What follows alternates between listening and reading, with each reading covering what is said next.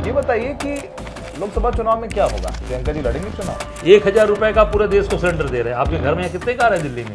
Seat क्या होगी? सोनिया जी चुनाव लड़ेंगी।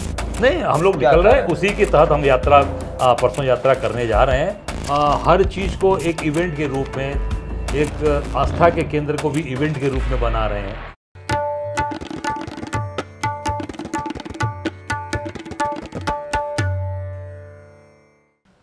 कहते हैं कि सत्ता की सीढ़ी उत्तर प्रदेश से होकर के जाती है। होके भी जानी चाहिए, क्योंकि 80 सीटें हैं।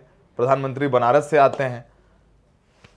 और जिस तरीके का वहाँ पर बीजेपी का माहौल है और कहना चाहिए जलवा है, वो सबके सामने है। पैंसठ से ज़्यादा सीटें जीती, फिर बाई इलेक्शंस भी जीते। कांग्रेस आगे क्या करने वाली है? कांग्रेस ने सोमवार को पाँच घंटे की एक मैराथन बैठक की है एआईसीसी में। जिसमें चर्चा हुई कि आगे 24 की रणनीति क्या होनी चाहिए और उस 24 की रणनीति को और मज़बूत करने के लिए एक पदयात्रा करने की ज़रूरत है। हाथ जोड़ो, भारत जोड़ो एक यात्रा जो है, वो उत्तर प्रदेश में की जाएगी। अब अध्यक्ष नया है, अजय राय साहब, हम सब जानते हैं अजय राय साहब साहब को विधायक रहे, फिर प्रधानमंत्री मोदी के खिलाफ चुनाव भी लड़े हैं। अरब पार्टी ने इनके सामने इनको ज़िम्मेदारी है कि वापस से रिवाइव करें। पार्टी को रिवाइव करना बोल रहा हूँ और क्योंकि हालात जो हैं अजय राय साहब कोई बेहतर नहीं जानता आपसे। बैठक में क्या कुछ हुआ? क्या तय किया आप लोगों ने आज? सौरभ जी देखिए पार्टी को आगे ले चलना मज़बूत करना निश्चित तौर से पार्टी ने ज़िम्मेदारी मुझे दी है। उसमें सबका सहयोग साथ मिले और हम सब लोग लड़ने वाले लोग हैं संघर्ष करने वाले लोग हैं। और संघर्ष करके मैं यहाँ तक आया हूँ। मैं शुरू से आपको शायद मेरे बारे में शायद जानकारी होगी कि पहला चुनाव छानवे का मैं कामरेड उदल से लड़ा था जो नौ बार विधायक थे। और लगातार लड़ता चला आ रहा हूँ। दस चुनाव लड़ चुका हूँ विधानसभा लोकसभा मिला के। और जिसमें से पाँच हारा हूँ पाँच जीता हूँ। संघर्ष करता हूँ चाहे मोदी के सामने लड़ना हुआ हो चाहे वो निर्दल लड़ना हुआ हो तब भी लड़ा 2014 में हमारी पहली मुलाकात तो अजय राय साहब से हुई थी। हम और उस वक्त एनडीटीवी में निधि कुलपति जी इनके पास गए थे और ये प्रधानमंत्री मोदी के खिलाफ चुनाव लड़ रहे थे। तो हमने इनसे पूछा कि राय साहब कमलनाथ जी भी ने कहा था कि मैं चुनाव लड़ूँगा मोदी जी के खिलाफ और बड़े कांग्रेसी नेताओं ने कहा था मैं चुनाव लड़ूँगा इन्होंने कहा। मैंने कहा फिर आपको कैसे टिकट मिल गई? तो राय साहब ने कहा देखो हम तो हैं बाबा महा बाबा विश्वनाथ के भक्त। जाके वहीं लेट गए और वो जो कराते हैं वो हम करते हैं। याद है आपको मुलाकात शायद नहीं याद होगी मुझे याद नहीं है। नहीं बिल्कुल बिल्कुल दस साल हो गए उस बात के। उसके बाद से अब चुनाव नहीं जीते हैं। ये ये भी बात है। नहीं जीतेंगे। देखिए ऐसा है कि जब झूठ के माया जाल में और एक ऐसा व्यक्ति ऐसे लोग आ गए देश के अंदर जो आ, हर चीज़ को एक इवेंट के रूप में एक आस्था के केंद्र को भी इवेंट के रूप में बना रहे हैं। मैं समझता हूँ जनता इन सब चीज़ों से धीरे धीरे कहीं ना कहीं उसको लग रहा है। तो आज एक समय ऐसा आ रहा है कि लोगों के अंदर हताशा निराशा है। आप देख सकते हैं जो पार्लियामेंट के अंदर घटना घटी है जो वहाँ पर जो आ, हमारे बानवे सांसद विपक्ष हाँ बानवे सांसद विपक्ष के लोगों को आज वो उन्होंने निलंबित कर दिया। जो व्यक्ति जो व्यक्ति उसमें कूदे जो बच्चे कूदे थे स्मोक बम लेके। अब क्या हताशा निराशा है? वो अब ध्यानाकर्षण कराना था पूरे देश का। वो जनहानि नहीं करना चाहते थे। वो चाहते थे कुछ भी ऐसे हथियार लेके घुस सकते थे, पर उन्होंने स्मोक बम इसलिए तरीका गलत अपनाया पर वो देश का ध्यान आकर्षण हो कि कैसे बेरोजगारी और महँगाई है उसका वो दिखाना चाहते थे कि हम सब पूरा देश नौजवान उत्तर प्रदेश में समझा क्यों नहीं पा रहे हैं बीजेपी? उत्तर प्रदेश के लोगों को समझा क्यों नहीं पा रहे हैं आप लोग? नहीं हम लोग निकल रहे हैं उसी के तहत हम यात्रा परसों यात्रा करने जा रहे हैं। परसों यात्रा हाँ परसों यात्रा माँ शाकुम्भरी मंदिर से दर्शन करके हम सहारनपुर से। सहारनपुर से जो लखनऊ तक जाएगी और हम सब लोग वो यूपी जोड़ो यात्रा उसका नाम है। और पूरी ताकत के साथ उसमें कांग्रेस का एक एक कार्यकर्ता एक एक साथी उसमें काम कर रहा है। और निश्चित तौर से ये यात्रा पूरे आप देखिएगा उत्तर प्रदेश की राजनीति के अंदर झकझोर देने का काम करेगी। गाँव से किसान से मजदूर से नौजवान से महिलाओं से व्यापारी से हर वर्ग इससे जुड़ेगा। सबका समर्थन और सहयोग मिल रहा है। राहुल जी प्रियंका जी भी मीटिंग में थे। क्या बोले राहुल जी? जी निश्चित तौर से राहुल जी ने बहुत ही सुझाव दिया।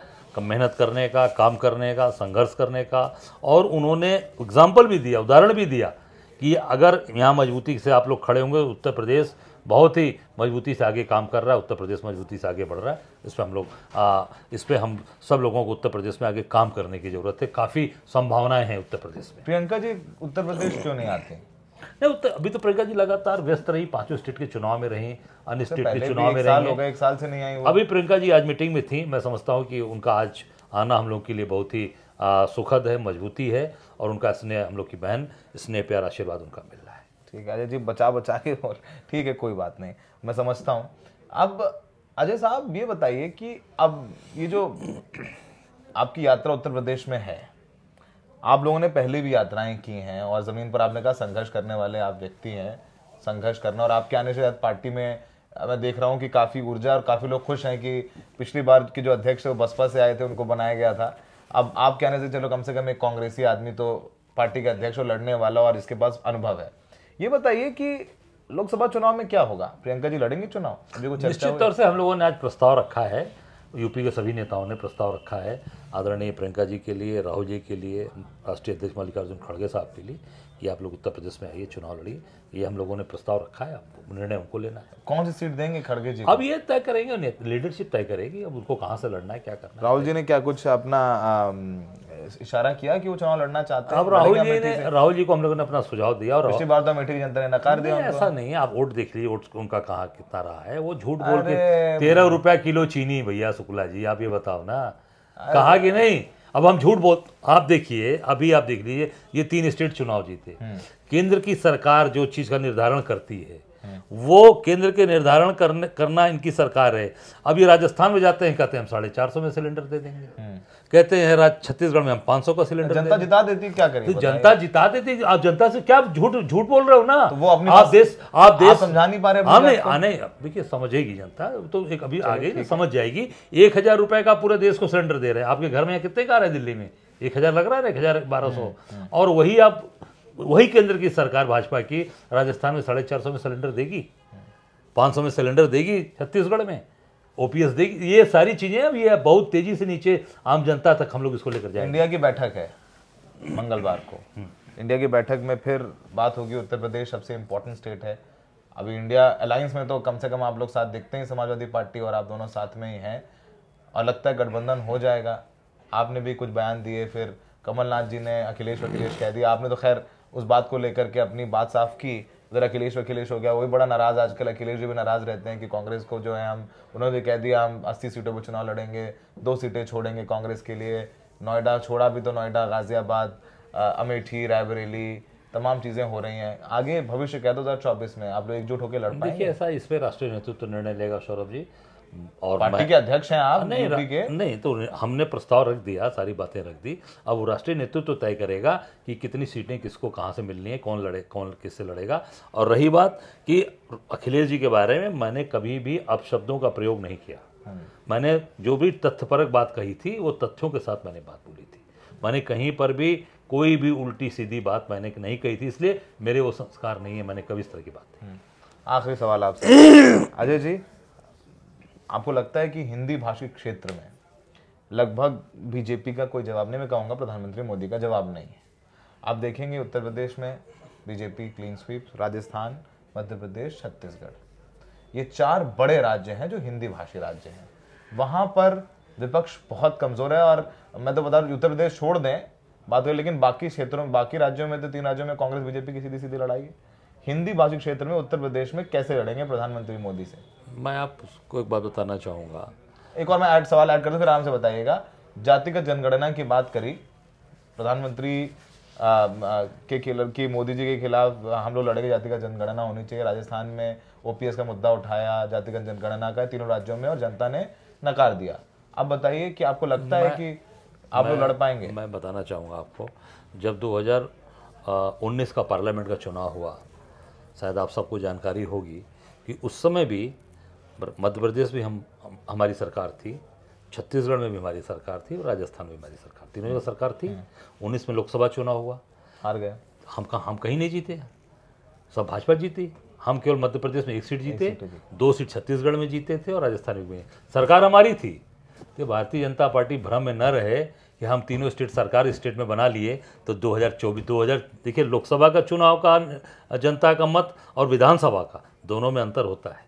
ये सोच रहे हैं कि विधानसभा में हमने सरकार बना लिया तो लोकसभा में भी हम उतनी सीटें जीत कर आएँगे। अब वो सबसे ऊपर आए, अब वो आएँगे, नीचे ही आएँगे, ऊपर नहीं जाना है उससे हाईएस्ट हैं। अब राजस्थान में पच्चीस की पच्चीस है तो उससे नीचे ही आना है, ऊपर नहीं जाएँगे। और सर, मेरी बात पूरी हो जाने दीजिए पहले। और सरकार में 2019 में वो हम थे, और हम वहाँ पर एमपी नहीं जीत पाए। ठीक है ना? और ये भी है साढ़े चार सौ में सिलेंडर दे पाएँगे लोकसभा तक। या देंगे तो यूपी को नहीं देंगे आप। बिहार को नहीं देंगे। ओपीएस देंगे वहाँ तो पूरे देश को ओपीएस चाहिए। तो पूरे देश में बात उठे बनारस में चुनाव लड़ेंगे मोदी जी के खिलाफ आप? बिल्कुल पार्टी का जो निर्देश हो पार्टी ने कहा चौदह लड़ने के लिए उन्नीस लड़ने के लिए अभी अध्यक्ष बना दिया पार्टी का जो निर्देश होगा अच्छा आखिरी सवाल आप बहुत दिन बाद मिले हैं राय साहब हमें बहुत सालों बाद आज आपसे मुलाकात हो रही है तो कई कई सवाल आ जा रहे हैं दिमाग में जहन में। उत्तर प्रदेश में हाँ। बसपा से आपने अप्रोच कर रहे हैं? मायावती जी को लाएँगे अपने गठबंधन में अब देखिए मैंने मुझे पता है सपा से गठबंधन आप लोगों का हो जाएगा खींचतान करेंगे वो हो जाएगा लेकिन बसपा को लाएँगे? अब किससे होगा किससे नहीं होगा? देखिए ये राष्ट्रीय नेतृत्व के ऊपर हम लोगों ने आप कितनी सीटों पर तैयारी कर रहे हैं? नहीं हमारी सीट तो देखिए हम तो लगातार संगठन देखिए हम तो संगठन के आदमी हैं और हम ये कैसे कर सकते हैं कि हम 20 सीट 15 सीट 12 हम तो अभी कल शुरू कर रहे हैं यहाँ से सहारनपुर से यात्रा जो लखनऊ तक जाएगी। उसके आगे भी यात्राएँ लगी हुई। तो हम तो पूरे संगठन पे अपने कार्यकर्ताओं को चार्ज करते चल रहे हैं निर्णय राष्ट्रीय नेतृत्व को करना है वो क्या तय करता है किससे लड़ना है कैसे लड़ना है? हमारी तैयारी तो ज़बरदस्त अजय जी बहुत दिन बाद मिले बात बात हुई। आपसे बात करके बहुत मज़ा आया हमेशा की तरह। और फिर इस बार उम्मीद है कि बनारस में मुलाकात फिर से होगी। हर हर महादेव होगा। हर आपको बहुत बहुत शुभकामनाएँ। लेकिन बीजेपी से लड़ने के लिए तो मतलब फिर आप समझिए कि हर हर महादेव होगा। चलिए ठीक है। तो हर हर महादेव के साथ हम लोग इंटरव्यू खत्म करते हैं। राह आसान नहीं है अजय राय को। ताज मिला है पर ये ताज जो है कांटों वाला है। तो दिल्ली में इनकी मुलाकात हो गई है। कांटों में ही गुलाब पैदा होता है। और इन्होंने प्रस्ताव दे दिया है चाहते हैं राहुल गांधी प्रियंका गांधी और खड़गे जी भी उत्तर प्रदेश चुनाव लड़े। सीट क्या होगी? सोनिया जी चुनाव लड़ेंगी। नहीं अभी इस पर कुछ चर्चा यहाँ नहीं कोई चर्चा नहीं खैर बा, बाकी सवाल इनसे बाद में करेंगे। इनको फ़िलहाल जाने देते हैं इनको जाना है तैयारी करनी है। उनसे बात करने के लिए बहुत बहुत शुक्रिया द माइक बहुत धन्यवाद।